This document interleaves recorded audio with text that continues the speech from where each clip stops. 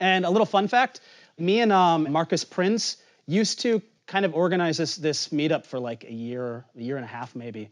Um, did you go? Did, you went there, didn't you? Back like six or seven years ago. Which one? Uh, to the to the Vienna JS meetup in uh, in MetaLab. Oh, yeah. Yeah, and it was like I think it was I think there were like four of us generally, maybe six. If we had eight people, we were like, whoa. And then like one time we had 12 people, and we were like, holy crap, like this is really picking up.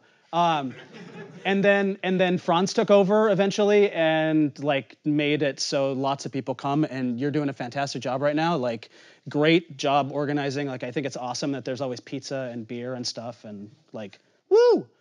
So